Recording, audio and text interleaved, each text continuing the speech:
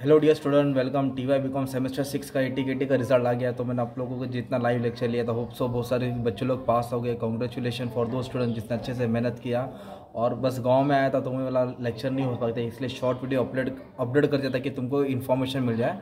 अब कुछ बच्चे तो बहुत मेहनत, जिसकी एक केटी थी, दो केटी थी, केटी तो क्लियर हो गई, और कुछ कुछ सब्जेक्ट छः सब्जेक्ट दिए थे, उसने पाँच केटी क्लियर कर ली, एक केटी किसकी रह गई। कोई बच्चे ने पेपर अच्छे से लिखा था राइट तो केटी लग गई।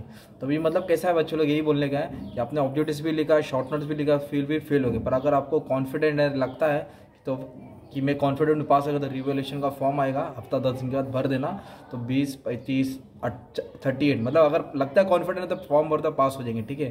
बाकी लोग जो पास हो गए कॉन्ग्रेचुलेशन और बस इतना ही बोलने का था. थैंक यू वेरी मच ठीक है? तो अभी दस हज़ार सब्सक्राइबर हो गया अपना, बस ऑल द बेस्ट